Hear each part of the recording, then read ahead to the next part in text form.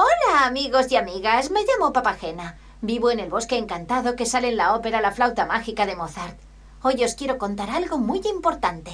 Y así empieza este recurso denominado lenguaje musical que nos introduce sobre cinco aspectos del lenguaje musical, las figuras musicales, los silencios, el calderón, los reguladores y los signos de repetición. Los personajes que nos guían a través de estos contenidos son dos protagonistas de la ópera La flauta mágica de Mozart, Papagena y Papageno. Todas las actividades tienen dos partes, como se puede ver en esta zona superior, una primera en la que nos explica las teorías y una segunda de ejercicios. A la vez podemos ir viendo el avance de cada una de estas partes en esta barra y pausar o avanzar. A la vez en la pantalla central nos va dando información mediante una serie de ventanas a medida que avanza la explicación. En este caso estamos abordando las figuras musicales. Después de muchos años de debates y de muchas pruebas sobre la proporción del ritmo musical, los hombres y mujeres que estudiaban música decidieron utilizar unas figuras musicales.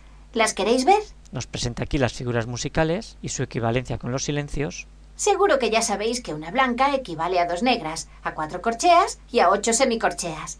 Ahora escucharéis cómo suenan y descubriréis las equivalencias entre estas figuras musicales.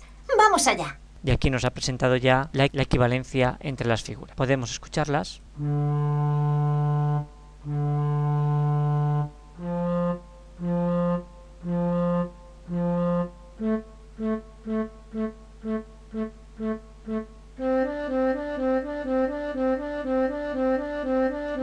Y como vemos hemos llegado al final de esta primera parte. Si pinchamos en continuar nos va a pasar al apartado 2. Estoy pensando que podríamos hacer alguna práctica.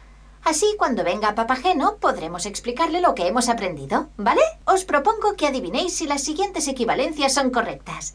¿Vamos? Y así nos propone una serie de ejercicios para repasar lo aprendido. La siguiente parte aborda los silencios. Estoy mirando cómo se escriben en el pentagrama las pausas o silencios. Es muy interesante. Las pausas, al igual que las figuras, pueden ser más grandes o más pequeñas y se corresponden con las figuras. Y al igual que la vez anterior, tiene dos apartados. En lo primero nos explica la teoría y en el segundo podremos hacer una serie de ejercicios.